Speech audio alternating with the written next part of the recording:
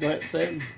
Alright, so, um, guys, I made this German grenade, and this is a German grenade from World War II, Uh huh. and and I've made I made the top of it, and and it's actually like a stick, the German grenade. So they and and how they and how they make it blow up.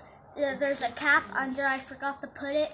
They they like untop the cap like that, and then pull it down and then throw it. But they have the stick so they can have like a better aiming to throw. Uh, And a, a grip, a better grip also. Yeah, a All right. better Let me see. grip. Show us how it does. Like, Show us. like this, Go ahead from over there.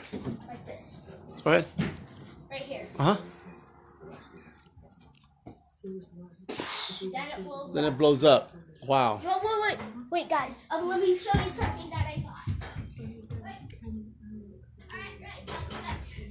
Here's the thing. I got this. Today, everyone, I'm gonna be making my mission number six today.